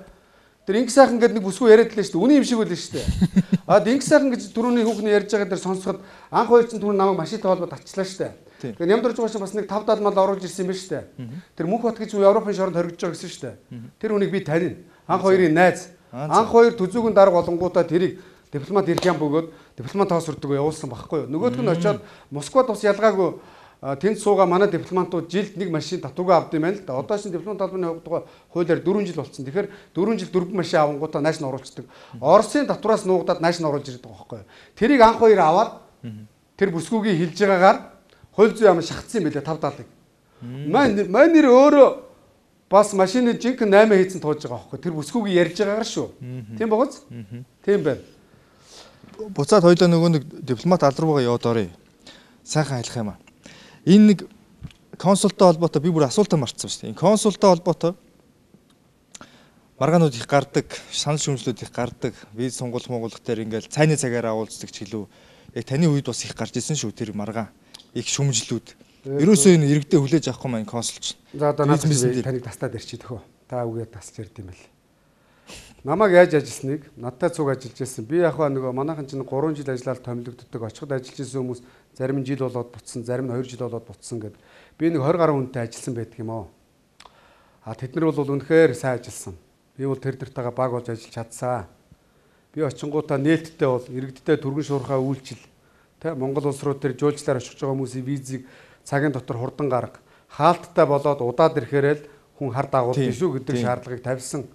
Намайг очиход манай гадаад яамны үндсэн дипломат Ариун Түвэ гэж дипломат визэн дээр сууж исэн. А тэр хүн виз хийж байгаа л явсан. Маш сайн ажиллаж байгаад Ариун Түвэ бол шөнө өдргөө нойр олгол ажилласан. Тий. Ямар ч хэл амд асуудал татлаагүй. Би бол визэнд оролцдог байхгүй юу? Ерөнхийдөө чиг үүргийн удирдлагаар хангаад хоёр орны харилцааны юмнуудаа л яриад явцдаг. Манай энэ баг хамт олон бол дотроо их сайхан ажилласан. Ер нь дипломатлуулагчийн газрын тэргүүн гэдэг бол түрүүний миний хэлсэн олон талын маневрыг чадвартай. Ийм хүмүүс ерөнхий консулоор дипломатлуулагчийн газрын консулын газрын даргаар тэ элчин сайд дээр явдаг юм аа. Монгол улс төлөөлж байгаа шүү дээ. Ганцхан гадаад яам төлөөлдөг байхгүй юу? Харин түүний доор ажиллаж байгаа кандидатууд бол гадаад яамны үндсэн мэрэгжилтэй, хилтэй, улстай боловсруучнууд байх хэрэгтэй. Тэгээ манай гадаад яамны очисон би бол хүн томилж авдаг, халдаг хэрэг надад байхгүй шүү дээ. Гэр бүлийн гишүүдийг л ажлын байраар хангадаг, үйлчлэгээний ажлаар.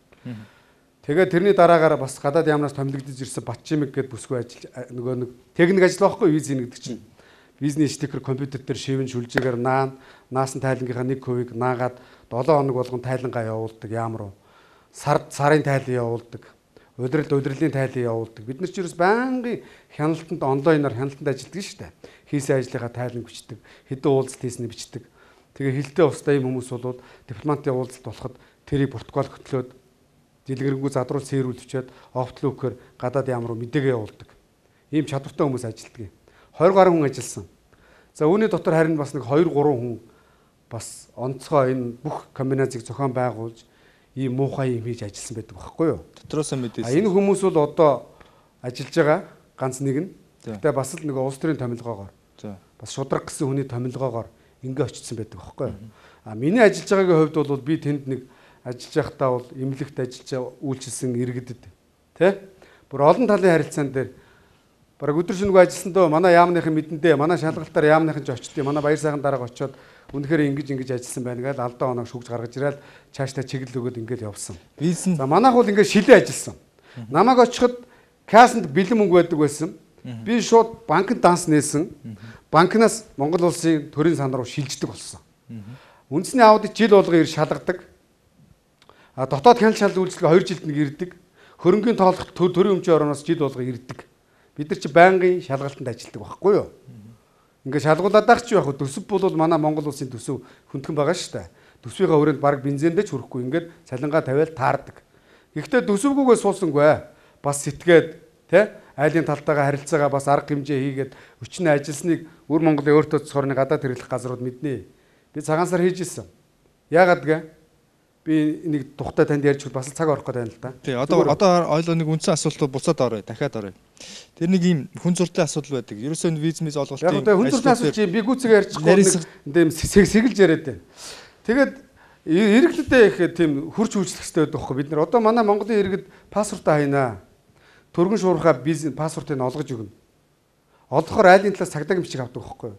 Тэр нь доотлон 7 хоног Тэгээ манай Монголын мөнгө авахгүй буудал 7 хоногор чинь тэр иргэн маань мөнгө төрөөс авахудаа хэцүү үстэй. Тэгэхээр энэнд айлын талаас гуйн штэ. Гуйхтаа бас албаны жугамар гуйсан ч гэсэн бас нэг за журамч дарга тэр дарга энэ таандха галс ингэрэ гэдэг бас нэг хувь харилцааны хувьд гуйн үстэй. Тэхийн тулд би цагаан сар хийгээд ерөнхий консулын газар хоёр улсын ингээд ийм харилцаан дээр ийм шүүгээд хийхэр чинь бас намайг ажил хийж гин иргэдийнхаа төлөө зүтгэдэг юм байна гэд айлын тал үнэлж шít. Тэгээ бид гуухаар дор нь өдөрт нь цагдаагийн бичгийг гаргаж өгөө явуулж шít. Бид иргэдтэй ингэж үйлчилсэн. Би Монгол улсаас 3000 гаруй иргэд урьсан байдгийг. Ер нь суугаа орондоо бас энэ суугаа орны хөгжил ямар байна? Монгол улс нутагшуулмаар юм юу байна? Тэр бүгдийг хэрэгжүүлэх үүрэгтэй байдгийг бас авч Монгол улстай. Өр Монголд хөрш орноос аммаар юм их байна Монголд. Анх 90 онд Улаанбаатар Азийн цагаан дагна байсан. Өр Монгол утаатай тагцсан донд үүдэн дээр угаацсан хасгаж ирсэн. Энийг бол манай тухайн үеийн одоо бизнесмен бизнес ганцхан хийж явж байсан ахнаар ярьдгийм байлээ. Тийм байсан байна лээ угаасаа. Одоо эсрэгээр манай Улаанбаатар ямар вэ та мэдж байгаа. Хөх хот бол утаа авалга, стресс алга, төвжрээ алга 3-аас 5 сая хүн тогтмол эргэлдэж байна, амьдарч байна. 4 сая хүний бүртгэлтэй орж гарч байхдаа 5 сая болдог гэж байна. Энийг нутгийнхаа иргэдэд үзүүлмээр байна монголчуудаа. Би айлын талд ярьдаг. Танаа хөрш орны бодлого том бодлого байдаг гэсэн. Тэгэд жилд үр монголч нэг 15 сая гараад жуулч ирдэг юм билээ. Манай Монголын хөдөөнийх нэг малчтыг жирийн ардуудыг танах ураад энэ гой хөгжил цэцгээд аялал жуулчлал ингэж хит ингээд харуулч чаач гэд ярьж исэн. Өөрөг зарим нь бол дэмжсэн. Би суугаа хугацаанд 3000 түн өрсөн байдаг юм. Тэр бүгдэд хурж үйлчилсэн байдаг юм аа. Багш нарыг өнөөдөр гадаадд зарим айлын хүүхдүүд төрийн зардлаар сурж байна. Тэгэхэд сургуульд үйлчлэгээний ажил хийсэн хүн гадаад паспорт алга 90 гарч үзээгүй байна. Энэ ялгаа юу манай нийгмийн? Ялгаа мөн биз? Би тэр үйлчлэгээнийхээ ажилтныг паспорт аваад бүрхүү хотоор аялуулад 3 өдөр. Би өөрөө уулз чадаагүй л дээ. Баярлсан бэлээ. Мөнх эрдэнэ ерөнхий консул та өстө үзээгүйг үзүүлээ. Ёстой бидний нүд тайдагдлаа. Энд чинь ингэж модоо тарьдаг юм байна. Утаагүй сайхан амьдрд юм байна. Бид нар ядаад модоо тарилтагаа санаа аваад явд юм биш шүү дээ. Хоёлаа харин тийм дараалтаа ярэ. Төрүүнийхээсээ та бүр холдоо яваад өглөө шүү дээ. Тэр нэг юм консултер гараад идэг хүн суртал юунаас болт юм бэ гэж асуух гэдэг. Тэр нэг тодорхой цаг заачаал нэгээс хоёр цагийн хоорондч үлээ цайны цаг нь биш нэг ийм тодорхой цаг нарийнхаа цаг заачаа тэр хоорондоо хүмүүстэй уулздаг. А тэрхийн тулд тэрний ажлыг бүтээж өгөхийн тулд жоохон бас нэг гар харсан үйл ажиллагаа тэр завсар яваад. Бусад консулын газрууд яаж ажилладгийг мэдэхгүй хоо. Одоо ч онлайнаар тэн тэглээ энд инглээ гэл мэдээллүүд нэрэл идэм билээ шүү дээ. Тийм. Манай хувьд бол тэр талаар тийм хэвлэл мэдээлэлээр хил ам дагуулсан тагталсан тань сонсогдсон уу? Үгүй одоо тэгэл хүн зурчлаад ялангуяа манайх ч хамгийн их явдаг нь урагшаагаал их гардаг тий. Манай урдаад сууга ерөнхий консулын газраас та тийм сонсон уу? Зөө зөндөл юм яригдах юм байна шүү дээ. Гэхдээ яг тийм хүн суртал баримтны нотлого тийм ярил л да сонссон юм уу? Шүмжлүүд яригдчихсан. Тэнд байгаа нэг хүн жишээлбэл цагийг багасгасан ч гэдэг юм уу нэг тийм сонсогдсон шүү. Тэгээ би танаас өөрөө чинь одоо юу? Тий. А одоо бид үргэлжлүүлээд бас тэгвэл над дээр чи нэг юм ярив. Бас баримт нотлоготой. Ер нь энэ энэ найруулгатай кино жүжигийг байна штэ. Нэг нөхөр тавьсан байдаг юм аа. За энэ манай Бацаандан. Энэ Бацаандан Бацаандан битээр найзууд. Хурлын гишүүн үү? Хурлын гишүүн Бацаандан. Найзууд. Хүнийг ханилан байж, хүлгийг унан байж гэж үнэ юм бэлээ. Битээр нэг 10 жил хүрээг нөхрөлж байгаа. 10 жил нөхрөлөхдөө харин энэ нөхрийнхөө занг би сайн мэдж авлаа. Өөр Монгол зөндөө очсон. Экспогийн арга хэмжээ, албаны айлчил, хураар, хувийн шугамар гэр бүлэрээ гэл. Надад анх очиод тэгдэг байсан баг. За мөнхөрдөө миний найзаа. Найзын уус төр дэмжчихээр хятад хүн байна уу? Тэ? Өр Монгол хүн байна уу гэд. Би тэдний чи бизнесийг Монгол дэмжиж өгье. Одоо би ерөнхий сайдтай ийм болцсон. Би засгаа аваад үлдсэн гэд. Тэгж ярьсан надад. Тэгээ би чи одоо очир гэд одоо манай энэ монголчуудыг очиход монголчууд мэдэн дээ бас. Бүх очисон монголчууд эдний Монгол ая ингээд ресторанд үйлчлүүлдэг. Би очир хахта танилцууллаа. Очирын найз хооцуунтай танилцууллаа. Ингээд бацаандангаа баган танилцуулаа явлаа. За тэгсэн чинь манай нөгөө шудраг найз найз маань ахыгаа Хөх хотын ерөнхий консулор томилууд юм аа. Энэ Баатар чулуун гэдэг. Эхнэр оюун гэрэл гэдэг. Тэгэхгүй энэ оюун гэрэл энэ хоёр шизээс суусан гэдэг энэ 2 3 дахь юм ярьсан баг. Энэ Баатар чулуунгаа өмнө нь ирээн дээр дид консул хийжсэн юм билээ. Бас ямар томилгоогоор явсан мэдэхгүй. Тэгээ Баатар чулуунгаа маа над дээр ирлээ. Томилогдоод. Тэгээ би хэлсэн. Та юу чадах юм гэсэн. Юу ч чадахгүй гэж. Компьютер мэдхгүй гэсэн. Мэдхгүй гэж. Хэл мэдхгүй, мэдхгүй гэж. Тэгээ би бас нэг гадаад ямар ийм хүн томилж явуулахтай яад ингээ буцаад юм уу гэж бодсноо. Найз бас гуйж хүнд бас нэг одоо найзын жудаг байна да. Би миний ахыг ажилуулаад тараад томилуулаа явуулсан шүү. Хөшин зогтоотортой яриад явуулсан шүү. Над руу тэглээ. Тэгээ уг нь бол ми хилтэй өнгө хэрэгтэй гэдэг. Манайх чи яг үндсэн синхроны хилтэй өнгө байхгүй шүү дээ. Одоо манай багхгүй нэг сайн ажиллаж байсан, зол зай ажиллаж байсан. Эднэрээс хойш байхгүй. Би ер нь бол яг синхроны бүр унган багасаа сураад гадаад харилцаанд 4 жил хятад талаар сураад тий Тэгээд ингээд диплом талбанд ажиллаж байгаа нэг хүн надтай 4 жил бараг ажилласангүй ажил томилогч ирж байгаа нөхдүүд нь эднэр. За энийг би өмнө сонсохноо яадаг байсан гэхээр зэрэг ирээн дээр дид консул хийдэг байсан юм байна. Тэгээ энэ өмнө нэрэн дээр дид дижээс ингээд хүмүүс ярьж штэ. Та нар дээр Баатар чулуун Бацаандангийн ах ирж байгаа. Нэг тийм нөхөр шүү гэд надад за та нар хүн бит юм болоо та би хүний үгээр ажил хийдэг хүн биш л гэлээ. Тэгээ сураг сонсохны харин нэрэн дээр нэг Батрол гэдэг машин байсан. Манай хотын консулын нэр дээр ороод ирсэн машиныг ундаг дипломат дугаартай. Хятадаас Ирэнээс зам өдрөө орохдоо будаачж ордог. За. Зам өдөөс орохдоо махаачж ордог. Өдөрт хоёр удаа гардаг гинэ. Би бол хараагүй үзээгүй сонсоогүй хүмүүсийн яриагаар. Тэгээ махны баатар ч бол ингээд алдартай нөхөр гэж шүү. Тэндээ юу? Тэндээ 90 дуухтай. Тэгээ төрийн албыг мөнгө гэж ажилтдаг юм байна. Бодлоо компьютер мэдгүй хэл мэдгүй төрд юу идэгий. Одоо та сэтгүүлч компьютергүй бол юм чадахгүй сте. Тийм биз? Мэдхгүй энэ нөхөр. Тэгээ би иргэдийн асуудал хариуцгаа тэр үүдэн суулгалаа. Тэгээд оюутнуудаа хийгээг Монгол иргэд одоо иргэд зөндөө гомдол тавьсаа бор бацаанд л үрдэл энэ ахыг аваач гэсэн чи ерөнхий консулт нь хэлгээд мессеж явуулсан байл шүү дээ. Мессеж чинь тэр иргэн надад харуулж байгаа юм чинь. Одоо бүр туцанд нь хадгалаатай байдаг гэсэн. Жишээ нь загтлаар зөндөө ирсэн. Хийгээг хийгээг. Оо тэгээ над руу чи ихлээд чухал би бацаандангийн ах шүү аятайхан баараа гэсэн. Таны хэний ах надад хамаагүй. Би бацаандан мэтгээл бацаандангаас саадахын өмнөр шударгаас ярьж явсан хүн шүү дээ. Бас та судалсан бол би ч бас өмнө бас түүхтэй хүн шүү дээ. Тэгээ яваад очлоо энэ нөхөр Ирээд ажиллаа. Тэгээ төрийн албанд яадаг? Компьютерийн өндөр төрийн албаны шалгалт өгөн те. Төрийн албаны шаардлагууд өгдөг үстэй. Компьютерийн хилний багаар адлах чадвартай ингээд те төрийн албаны шалгалт өгөө юу ч байхгүй. Компьютерийн төвчлөр 7 хуруур ондгүй нөхөр штэ. Гэхдээ зовлонтой. Тэгээ юу их вэ? Им нөхөр мөнгө олох гэж очив. Яг гэж ажилд авсан юм байна наадхаа. Зогтоотор томлоо явуулсан. Тэгээ би яах юм? Томсгор юм хэлж болохгүй. Тэгэл. Зогтоотор бацаанд чи яах вэ? Манай хүн чи шууд нөгөө шудрагын дүр тоглодог хүн чинь ер нь шудраг хүн байна шүү дээ.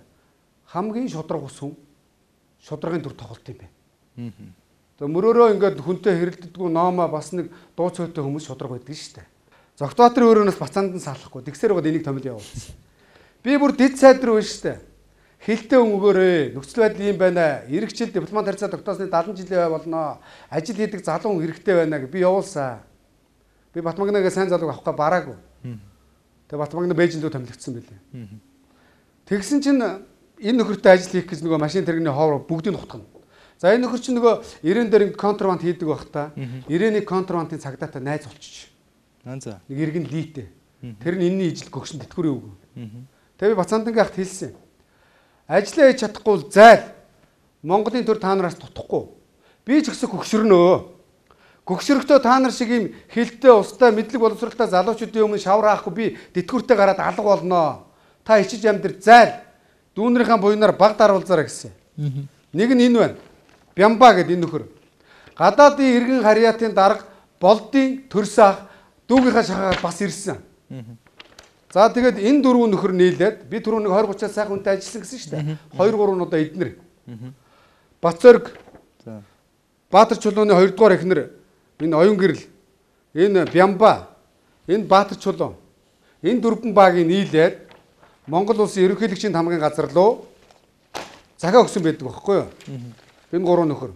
Би бас баримтаа аваад ирсэн. Энэ энд байна. Энэ захиа өгсөн байдаг юм а. Эндээс над руу нөгөө За ингээд ерөнхийлөгчийн тамгын газраас ингээд анх хоёр дараагаас ерөнхийлөгчийн тамгын газраас бооч институттай хамааралтай нэг албан тоот ирлээ гэдэг. Ингээд ерөнхийлөгчийн тамган газар дэд дарга саруулын гар үсгтээ зогтоотор сайд руу. Тэгээ ийшээгээ нэг юм өргөдөл очсон юм байна л да. Ийм өргөдөл очсон юм билээ.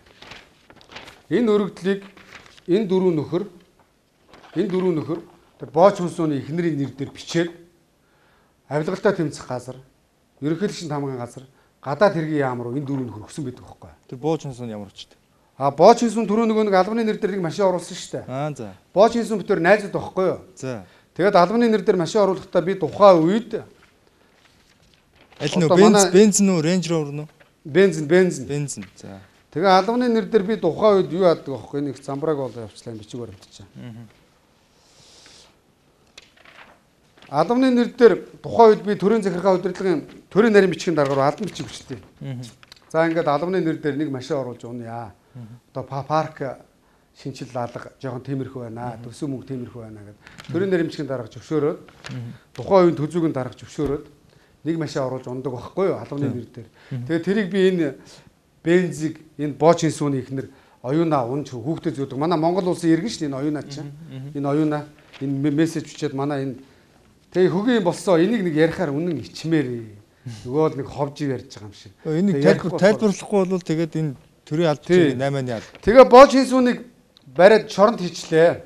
Яасан гэсэн Бацандангийн ах нөгөө контрабанд хийж явахдаа танилцсан ирээн дээр байдаг гөгшин цагтаа альва хуулийн газар чинь нөгөө мэдээлэлээр ажил болж хийдэм билээ. Мэдээлэлээр. Манай монголч тэр тэнц тэр. Тэгсэн чинь Баатар чулуун чи очингуудаа мөнх эрдэнэ машин оруулаад зарчлаа. А энэ ирээн дээр нэг машин яваад шүү нэг машин оюуна гэж үг унж байгаа гэд. Тэсэн чи паг нэг өдөр бариад бүгдийн шоронд ичлээ 90-ийн шоронд. За тэгээ нэг юм оюунаач хүүхдтэйгээ хэцүүд нэстэй. Нөхрийн шоронд орсон ямар ойлог байх вэ те?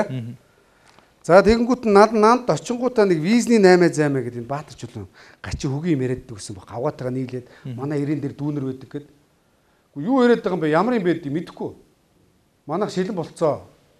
Дансанд мөнгөө тушаалаа.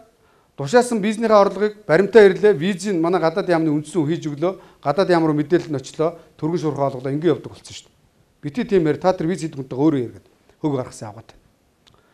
За тэгэнгүүт л энэ энийг оюунаад ингээд нөхөрчин шоронд орцсон хэцүүдлээ шүү дээ. Чи мөнгөгүй бол баларна шүү дээ. гэж хэлээд оюунаад нэг 20 30 хүний виз өгч явуулсан байдаг. Тэгсэн оюунаа надаас нөхөр шоронд орцоо одоо мөнгөгүй хэцүү байна гэдэг манай Монгол хүмүүдийн занг мэдэн шүү дээ. Өө тийм байхгүй чи тэр хинтээ өөртөө харьцгээд тэр Бачимэгтэй нөгөө виз хийдэг манай техник ажилтан. Өөртөө харьцуулахгүй юу? Тэгсэн чинь Бачимгийг манай нөгөө оюун ачин дарамтлсан. Би өөртөө турдлаад төгслөө гэд мессеж өчөөд ингээд дарамтлаад виз хийж өгөх гээд. Тэгсэн чинь нөгөө визийн нэрээс авчлаад Баатар чулуу явуулаадсан юм байна л да. Ингээ юм болоод тэгээ би нөгөө визийн тагдарлаа. Өөрийн ч одоо шудраг ажиллаглаа чадахгүй бол зайлглаа. Тэгэхээр нөгөө Монголд намайг хэвлэлээр захиалгахтай бичүүлд юм байна. Машины 8 ч нөгөө машинд баригдсан гэдэг. За тэгээд нөгөө шоронд баригдсан хүмүүс чинь ороод 6 сар хоригдлоо. Тэгээ гатын хууль шүүх прокурор нөгөөтг нь хэрэгсгүй болгоод хүмүүсээ гаргачихж байгаа байхгүй. За гаргацсан чинь гар тэднийг 6 сар хорж байгаа хугацаанд би бас анх хоёр дарга марга гадаад яам руу хандаад миний машиныг хурааж аваад хүмүүсийн шоронд хийчлээ. Одоо яг л бид нар өөрсдөө мэдэн шүү дээ. Та мэдж байгаа хоёр дарга Бээжинд байгаа хүмүүс бүгд л оруулдаг шүү дээ гэд. Тэгсэн чинь за Вены конвенцийн дагуу ингэдэж ингэдэж гэл заавар чиглэл өгөөл энэ нөгөө оюунагийн хурамч хөргөлчийн тарагч. Эдний явуулсан өргөдлийн гарын нь энэ вэ шал ондоо.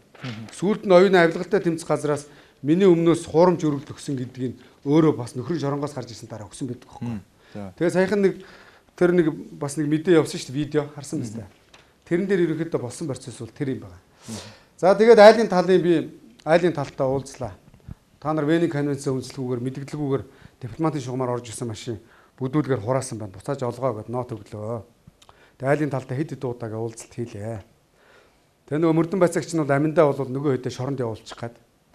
Ягаад гэвэл гаттай хууль чанга хүнийг үнслэхүүгээр 6 сар хорих юм бол тэрийг прокурор хэрэгсэхгүй болоо гаргачвал мөрдсөн мөрдөн байцаагч тэр хэмжээгээр шоронд ороод төрийн албанаас цагдаагаас хөөгддөг байхгүй юу. Тэгэхээр нөгөө Бацандангийн ах Баатар чулууны найз чинь буруудан надаа тийм биз? Тэгэнгүүт нөгөө эрх ямбын цуцалж өг гээд над руу би айлын төлөө Бээжингийн гадаад яам дээр хүртэл очиж уулзсан. Бээжингийн гадаад яамтай бүр консулын газрын дарга Азаа Батмагна дипломат элчин сайдын заавраар ороод уулзж байгаа байхгүй. Тэгээ уулзсныхаа ярийн тэмдэглэг анх хоёр л явуулсан байдаг. Ингээд нуух юм ерөөсөө байхгүй. Тэгээд нөгөө манай нөгөө дөрөв нөхөр баригдаад нөгөө төр хоригдчихсэн нөхдүүд гараад ирэхгүй энэ оюуныг ихнэр мэхнэр. Тэгсэн чинь оюун надад үнэ хэлдэг байхгүй. Мөнх эрдэнэ чамааг Монгол цаайтар машинтай олж бишээд байгаа хүн чинь Бацаандангийн ах Баатар чулуу миний нэр дээр өргөдлөчөөд авилгатай тэмцэх газар өгсөн шүү. Эднэр ёстой хүн биш юм билэ. Бат чулуун, Баатар чулуун, Бат зориг Бямба гурав гэд. За Бямбач яг тэтгэврийн үгэн энэ сонь замтай нөхшин билээ. Уг нь би их дэмжиж ажилласан юм. Ахнэр мөхрийн ажилд аваад. Тэгсэн чинь айлын талаас намайг юу яадаг вэ юу? Энэ нөгөө цагдаа чинь үгүй энэ ерөнхий консул нь буруутай. Би нотолцоо. Тэгвэл эрх ямбын цуцлаа дээр би тэгээ шалгая гэдэг байхгүй юу? Тэгсэн чинь айлын талаас ийм нот очих гадаад ямар ирэхгүй юу. Тэгээ тэрийг үнэлж авангуудаа анх хоёр шууд нөгөө манига татах тушаал засгийн газрын хуралдаанаар оруулангууд би ороод анх хоёртаа нөгөө мууддаг асуудал чинь энэ болдог байхгүй юу. Ийм л юм болсон. Тэгээ хамгийн муухай нь эднэр намайг зурагтаар одоо энэ танаас итгүүлчдийн намайг худлааг үтгсэн бүх юмнууд ингээ би хевлээд аваад ирсэн л те. Зөрчлийн хуулийн дагуу цагдаа тандъя. Цагдаа нь хэрэгсэхгүй болгоцсон. Яац нямдурж байгаа нөлөөлсөн юм бүү мэд. Гэхдээ намайг чинь зөвхөн мөнгө хэрднээс болоод гаттын хууль чангарсан л гин одоо чангардаг бол их гүрний хуулийг чангаруулдаг бол би бутун байх надаа. Аа? За тэгвэл ямар нараа тавган дээр толгой тастаа тавьж байгаа. Энэ зургийг бас од болгосон. Энийг танаа нэг төрөний миний хилээд байгаа хин хилээд зарга цэгийн минь ч хэлүү нэг одоо эмхтэй өнийг балиар муухаар дуудаад ах цаашаа те. Энэ нэг балиар хөөхөн намайг ингэж бүр юу юу гэнэ жип сервис мерсус нам мам шантаж мантаж гэдэг төрөний тав төрийг ярьсан байдаг шүү дээ. Энэ хүүхэн намайг сайн судлах хэрэгтэй байхгүй юу? Судлаад би чи их нэг нийгэмдээ худлаа юм хийсэн юм байна. танаас өөрөөс ч асуусан юм уу? Асуугаагүй. Би энэ үгийг танихгүй. тань руу яриг залгаагүй юм. Залгаагүй. Энийг балаа өгөх юм гэсэн. За тэгэнгүүт нөгөө анх хоёр чинь намайг фэйсбүүкээр би анх хоёроо аа хөрш айлын тал цагдаагаа өмөрч явахад бид нар дипломатаа буруутаа зогсож идэг Монгол улс байд юм уу? Хамгийн аюултай нь манай зөгтөтөр сайд. Засгийн газрын хуралдаанаар оруулаад гарч ирээд төрөвчээс нь хариуцлага тооцож гинөө. Хөх хотын ерөнхий консулыг чөлөөллөө. Өө тэр нь маргааш нь зохион байгуулалтад бүх телевизээр цацагдж штэ. Тэгээ би тэр өрөө шууд зөгтөтөр сайдаа уулзъя гэд би орохгүй юу? Тэгсэн чи за яах вэ? Одоо наадан болох чинь чиний энэ ингээл арилчихна. Гэхдээ зогт баатрын нэг нэг хариуцлага алдаад байгаа гадаад яамны бодлого нь алдагдахаар өөрийнхөө нэрийг бодоод өрөөлийн нэр унжи бол хамаагүй байж болохгүй үстэй. Улс төрчид ийм л ёс зүг байж болдгоо байхгүй да. Тэгээ би зогт баатар сайд руу мессеж утсан. За зогт баатар сайдаа та ингэж болохгүй шүү. Урд бол яг таны ярьж байгаа визэн дээр шунаад байгаа те. Энэ нөхдүүд чи үлдсэн шүү. Та одоо хоосон байгаа консулын хавар манай консул өөр тийш томилогдсон. Ерөнхий консул консул хоёр дэд консул ингээд аташаага томилогддог байхгүй юу? Тэгээ манай консулыг 2 сараас хойш зогтоотор томилж явуулаагүй. Цасаад энэ ах хоёр хоёр. Тэг хөнгүү болчлоо. Чононд хонь хадгалуулсан юм шиг миний энэ зовж улсынхаа төлөө зүтгэсэн 3 жилийн хөдөлмөрийг энэ нөхдүүд бузрад дууслаа. Би баримт нотлоотой юм ярина. Та хурдан явуул гэсэн дөрөнд мессеж бол таван дашгүй томилгоогоор нөгөө орны хүнийг мань явуулсан байлээ. Яг доотлын консулыг миний орны удаа урд томилогдоогүй.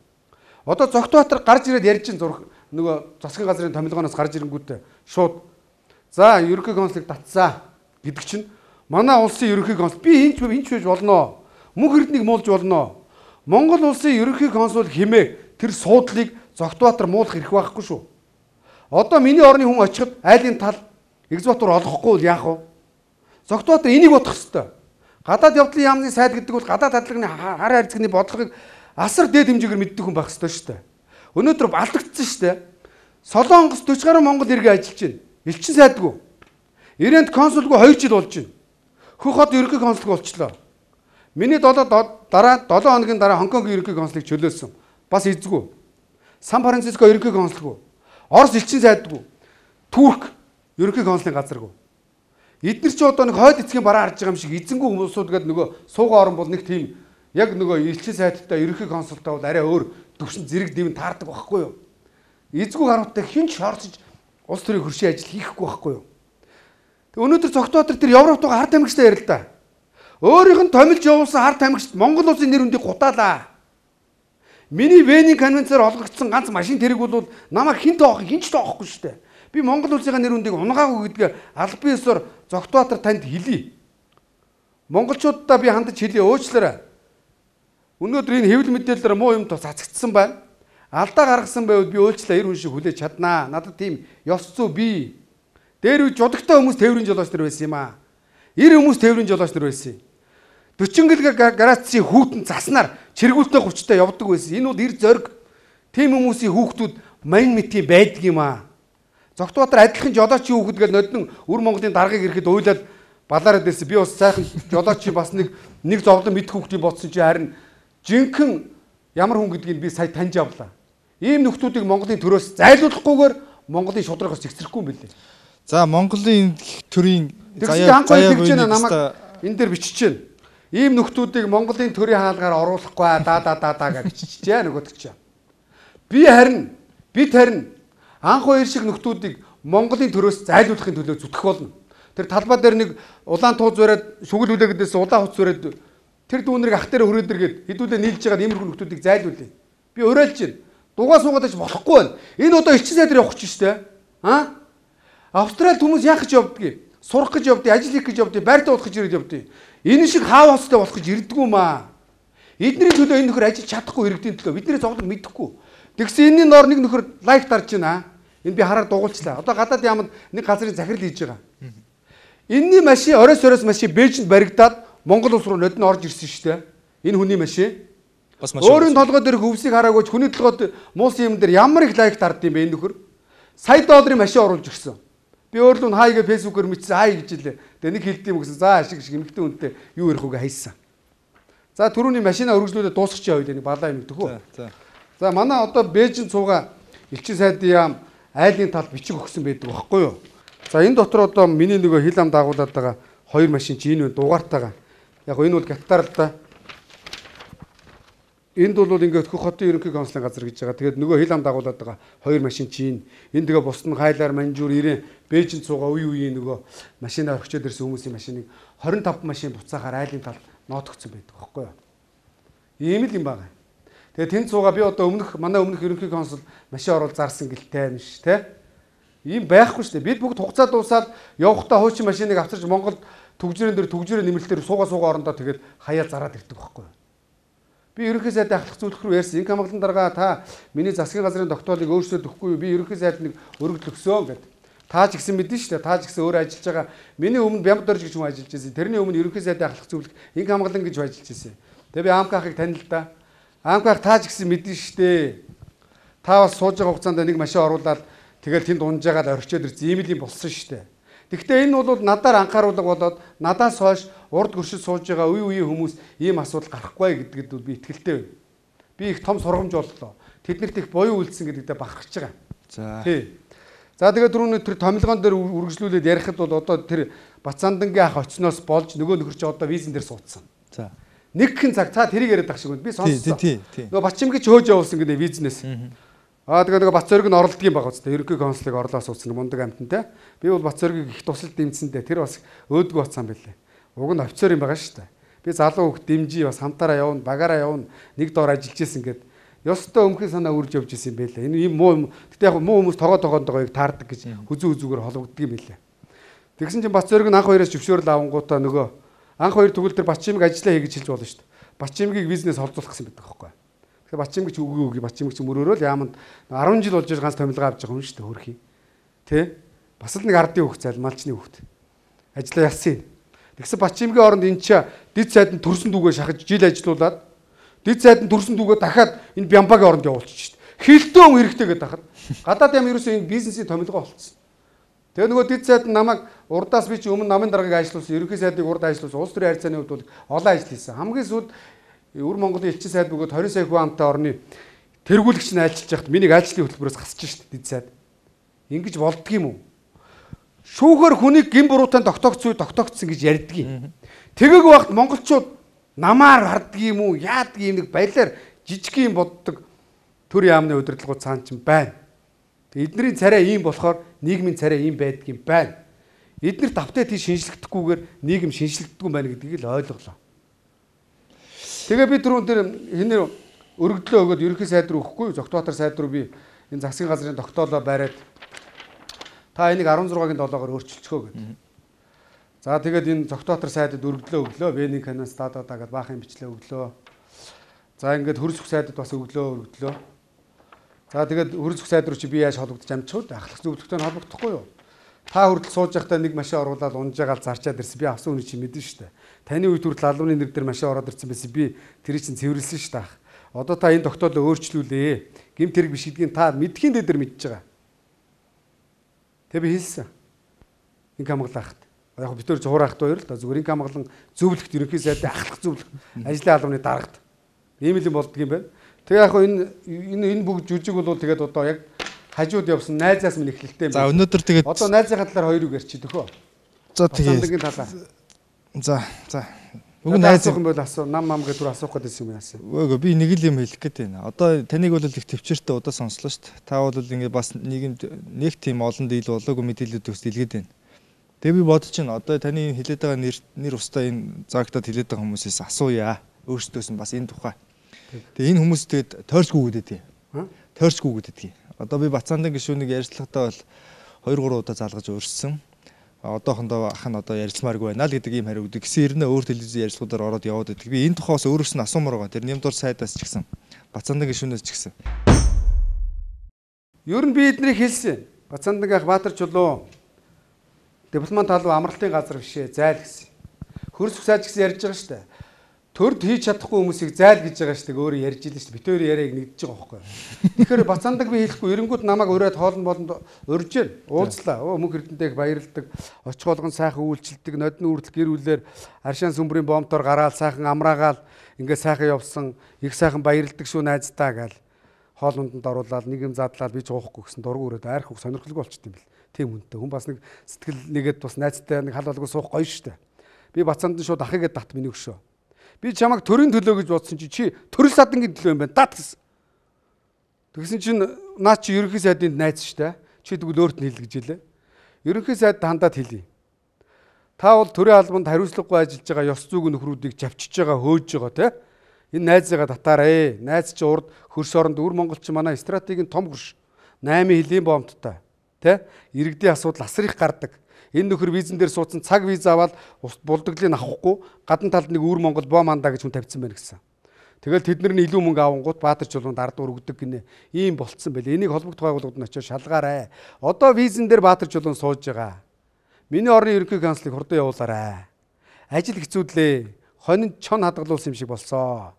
Ерөнхий сайдаа сэлэмдээрээ авчаарай тэр хүмүүсээ. Тий. За за за ингээд манай нэвтрүүлгийн цаг бас их богинохон. Тэгээ танаас бол өнөөдөр маш их төвчөртэй мэдээллүүдийг авлаа, сонслоо. Одоо энэ залуучууд өөрсдөө ингээд аль паагаад аль төрийн албанд очиод энэ засаг төрийн буйныг хангалттай эдлээд дараа нь ингээд асуудлыг дандаа шүүмжилж өөрийнхөө өмнөх ба өөрийнхөө дараах үеийг дандаа шүүмжилж ингээд яваад байд энэ улс төр зүтгээд яах гээд ингээд энэ залуучууд ингээд яваад байд юм бэ? Ер нь одоо яах гээд одоо жишээл амьдрал одоо сан бос тгүүлчээ. Хүн бол төрснөх. Одоо би жишээлбэл зоригтой төлөө л амьдарч байгаа. Би нэг сайн сайхан яг үнийг хэд бас нэг мөр бүтэн нэг өр хөвгттэй тий. Одоо залуу хүн тий. Тий.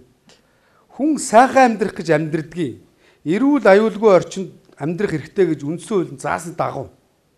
Сайхан амьдрах гэхээр залуучууд ажил алгаа, бизнес алгаа, нөгөө улс төр чургалсан, намын нэр хүнд бузралсан нөгөө яриад байдаг олигархууд хулгайч нар чинь бүх бизнес тендерийг авчихаар залуучууд өөр ажил байхгүй бүгд нам руу орж. За би нам гэдээ ярьсан дээр намын талаар өөрийнхөө үйл бодлыг хэлье. Монгол 100 яман 60 ухна гэж олон нам хэрэггүй гэж би боддгийг. Өнөөдөр эрэл алтай алтаар нам байгуулсан шүү 2000 онд. Гараад ирэх нь яасан юм? Монголын ард түмэн эрэл компанийн засгийн газар байгуулахыг хүсээгүй маа. Боин компани жаргал сайхан дарга бүгд наримт намын дарга 20 жил 30 жил хэлсэн үг болгоно үнэн байдаг. Сошиалар хамгийн ширлэгддэг. Бацаандангаас илүү шудраг гоё ярьдаг штэ. Яга гудамд байгаа. Тийм багс? Боин компани засгийн газар байгуулахыг хүсээгүй байхгүй юу? Гүссэн хүсээгүй энэ хоёр нам чинь шинжлэхдээ давтыг тэгдэ явдгийг. Өнөөдөр хаа байсан баг ондгоо үехэд өнөөдөр хөрсөх үед хичнээн дарга солив. Апдейт хийсэн багс? Арчилсан нам хаа байсан дээр үе гончиг дөрж байгаа үеэс хойш ингээ бодоход өнөөдөр эрдэнэгаа үе гэдэг шинжлэгдэж байгаа. Магдгүй маргааш энэ хоёр дарга хоёулаа апдейт хийгдэл явна. Энэ намд байгаа шургалсан хэдхэн цөөн тооны хүмүүс л энэ намын нэр хүндийг унгаад байгаа. Ах дүүнэрээ томилж явуулдаг. Бизнесийг өөрсдөө булаадаг. Эднэрээс болж намын нэр хүнд унаад байгаа хөөхгүй. Бацаандан 20 онд ялвал одоо шин нам гэлөө. Би намын нэрийг мэддгүй задлахаар. Энэ фэйсбүүкээр чинь та нар нэг философи иргэдийн нэгдсэн нам нэгцэн бичсэн байлоо. Би бол мэдэхгүй. Энэ шинэ нам Монгол Улсын засгийн газар энэ Бацаандан ерөнхий сайд болохоор ах нь ерөнхий консул болох уу? Тэгвэл нөгөө залуучуудын чи хоолыг булааж идсээр байх болно. Энэ нөхдүүд аж ахуй ажил хийж үзээгүй. Жагсч үзсэн. Бацаанда юу хийсэн? Попорсон шүү дээ. Манан огцруулна. Өөрийн нам байсан чи унагна. Төгжилтэн. Тэгэл манан бүлэглэл. Гэхдээ тэгвэл тэр манан бүлэглэлийг чи гэмт хэрэг хийсэн байл тэр хууль зүйн яам шалгана шүү дээ. Өнөөдөр хууль зүйн яам ажиллаа хийхгүйгээс болоод олон төрлийн бус байгууллагууд гадуур хууль зүйн яамны ажлыг хийсэн явж. Тим холбоо холбоо.